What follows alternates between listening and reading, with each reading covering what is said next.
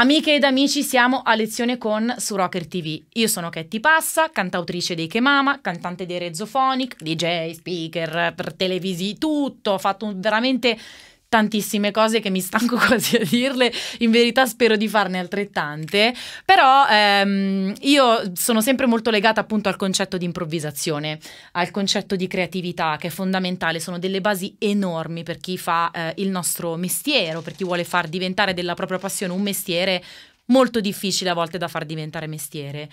La società moderna ci dà delle possibilità in più, ci permette di spaziare, ci permette di essere sempre sul pezzo, ci permette di poterci reinventare perché sappiamo che negli ultimi vent'anni soprattutto le cose sono cambiate velocemente. Sicuramente bisogna avere sempre un po' il coraggio di buttarsi, buttarsi fa paura, buttarsi ci fa sentire nel vuoto, però perché vi sto dicendo tutto questo? Non per fare un trattato di sociologia, anche se essendo ne laureata mi farebbe piacerissimo, ma più che altro per parlarvi di quello quello che oggi sicuramente eh, ci rappresenta di più, ovvero l'immagine che noi diamo di noi stessi attraverso il mondo del web. Io tra le tante cose che ho fatto e che faccio c'è anche eh, la copywriter e la social media manager e devo dirvi che essendo la scrittura il mondo in cui io mi sento più a mio agio in assoluto, appunto la mia zona di comfort, ehm, scrivere per gli altri, creare, immedesimarmi, empatizzare anche con quello che sono le vite eh, web e online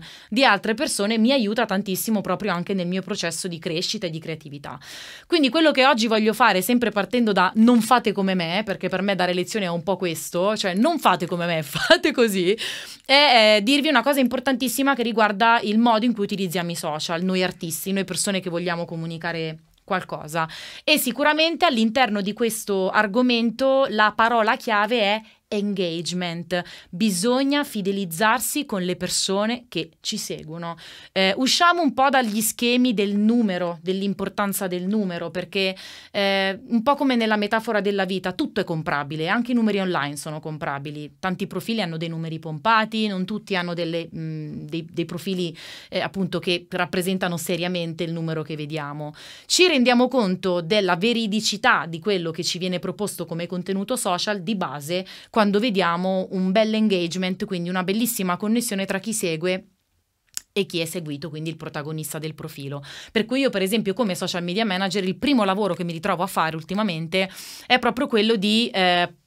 portare la persona, la band o l'azienda, laddove si parli anche di cose extra artistiche, a definirsi, che poi è la regola per tutto. Definirsi non vuol dire fare solo una cosa, noi possiamo farne cento ed essere comunque sempre noi. Quindi l'importante è sapersi definire e eh, essere sinceri, quindi riuscire a dare il meglio di sé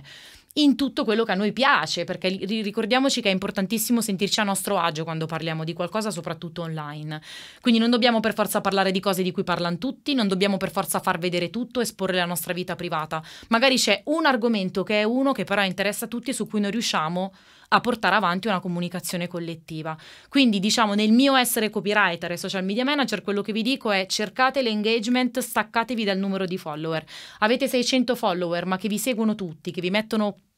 parecchio like eh, durante quello mentre postate o quando fate le storie vedete appunto che c'è tanto eh, cioè, avete queste persone vicine com- un po' come se le sentite vicine. Ecco vuol dire che state facendo bene. Spero di essermi spiegata bene perché sono molto logorosa che un po' mi impappino però detto questo a lezione con su Rocker TV con che ti passa torna prestissimo